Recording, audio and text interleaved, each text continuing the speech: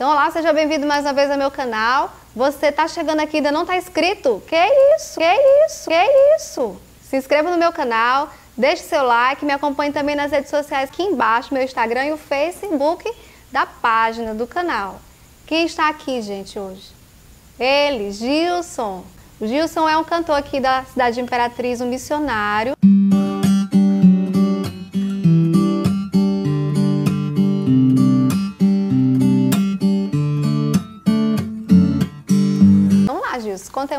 É que começou essa história mesmo, lá do nascimento. Ah, minha história começou ah, em 91. Nasci Imperatriz, minha infância toda Imperatriz.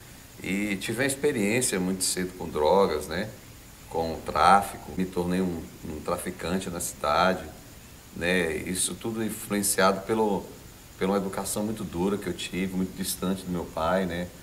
Não porque talvez culpa dele, mas meu pai, muito cedo, eu com um ano de idade, ele ficou deficiente, não podia estar comigo, né? Então, toda essa carência, todo esse desejo de ser amado. Então, eu tive Foi refugiado? Claro, fui buscar o amor no, aonde eu achava que poderia ter. Então, dentro dessa realidade, nessa situação, nesse período da minha história, eu tive uma experiência com uma, uma banda de rock. Aí, tinha que ser a música, né?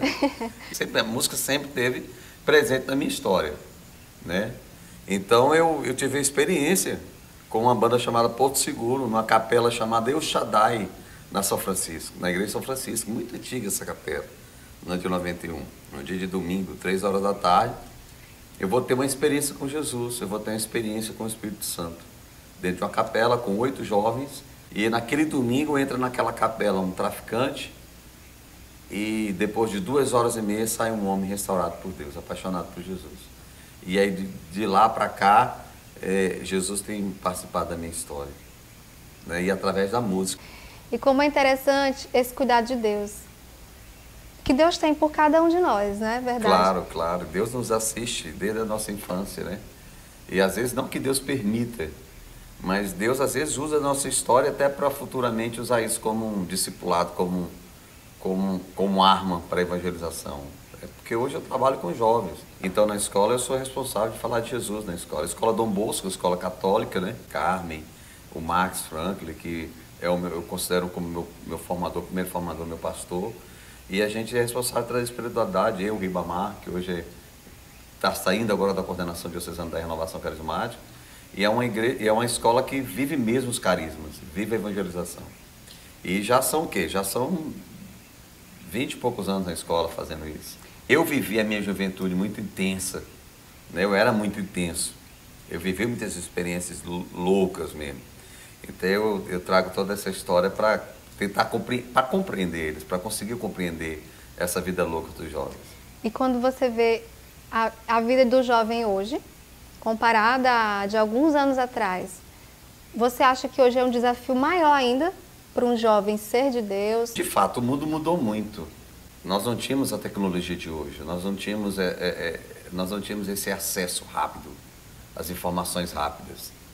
É, as drogas eram mais difíceis, era mais escondido, né? Hoje há uma liberdade muito grande. Então hoje é mais difícil ser jovem de Deus. Hoje é mais complicado ser de Deus, devido a essa facilidade, devido às famílias é, é, é, ter se destruído, desfigurado. E hoje é mais complicado ser jovem. É mais difícil ser jovem. Mas jovem é jovem todo tempo, em todo lugar. Só muda o lugar o nome. O jovem ele tem sede de Deus. O jovem ele é de Deus, porque no fundo, no fundo o jovem quer ser amado. Ele é curioso, ele, ele, ele anseia por, por, por amar.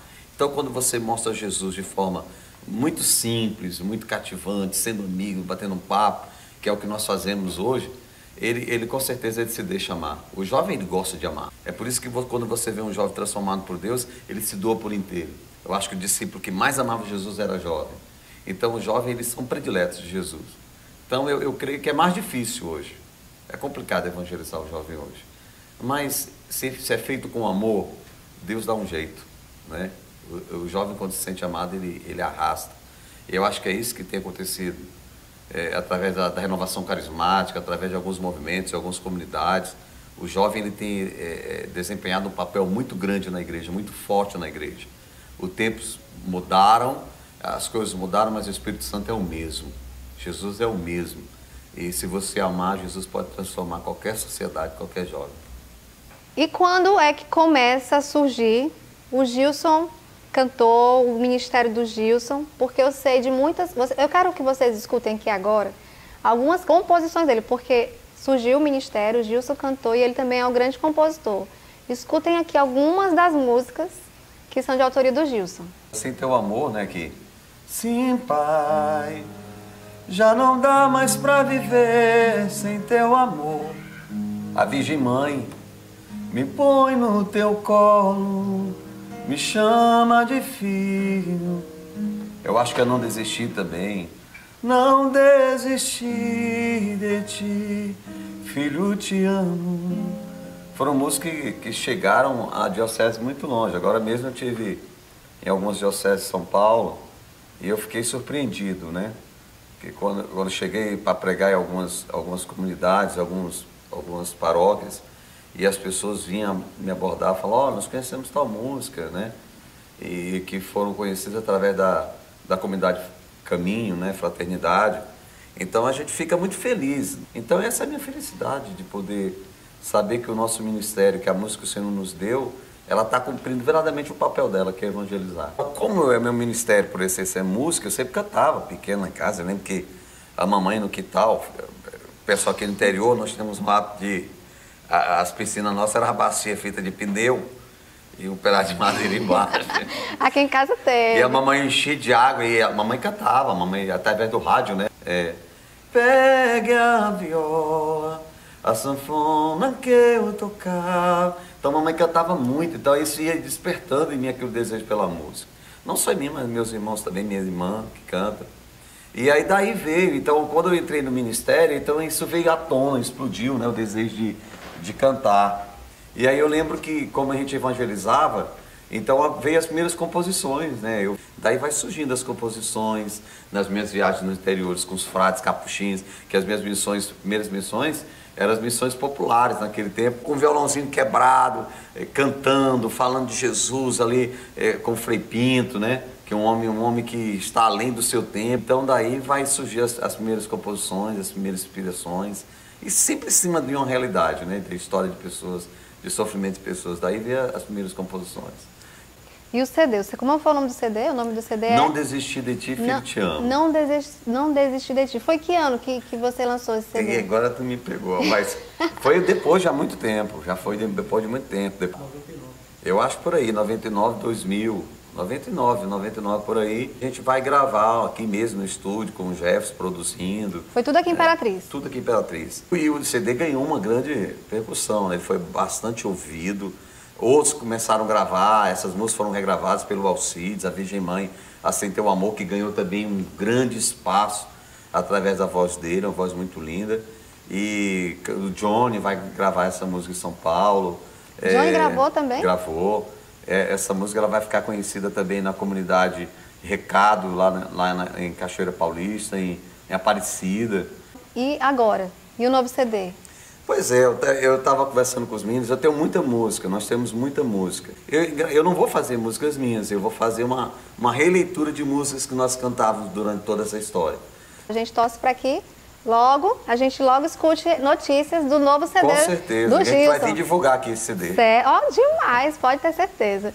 Porque é uma coisa que eu sempre falei, nós cantamos muitas músicas lindas e essas músicas, elas ficaram paradas, elas estão adormecidas. E que marcaram a nossa história, que marcaram conversões, mudanças de vida, pessoas que fazem um bom trabalho aqui e que marcaram com essas músicas. Então, é o meu desejo agora é gravar voz e violão, né, com alguns arranjos e trazer essas músicas para que a galera de hoje é, possa desfrutar um pouco dessas histórias que nós vivemos, que foram muito bonitas, histórias lindas que nós vivemos. E a gente vai ficar então na expectativa, aguardando, né? Então vamos já, você já vai colocando em suas orações essa nova fase, esse Amém. novo Orem CD. mesmo, que é difícil. Dentro da igreja hoje, qual o movimento, onde é que você tem trabalhado mais a evangelização? Olha, eu logo após conhecer Jesus, eu conheci a renovação carismática. E aí eu comecei a trabalhar com a renovação carismática muito tempo e nunca, nunca saí do movimento da renovação carismática.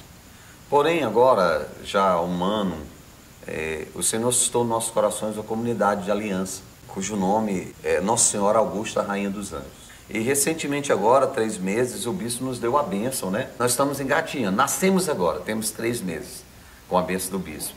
Mas a, a vida em comunidade já tínhamos há muito tempo. Estamos apaixonados pela comunidade, estamos vivendo mesmo o primeiro amor, estamos empolgadíssimos, porém com o pé no chão, em oração, para que nada seja humano e, e para que tudo aquilo que a gente faça seja sopro de Deus mesmo. Cada trabalho que a gente faça seja mesmo é, vontade de Deus, seja direto do coração de Deus, é, com a proteção e intercessão de Nossa Senhora Augusta Rainha dos Anjos. E agora o Gilson mudou de look. Pode ser sincero, né? Pode ser sincera, sinceridade, assim, 100% da sinceridade. Beleza. Não sei se você vai tirar o chapéu para ela. Eu quero saber se você tira o chapéu para.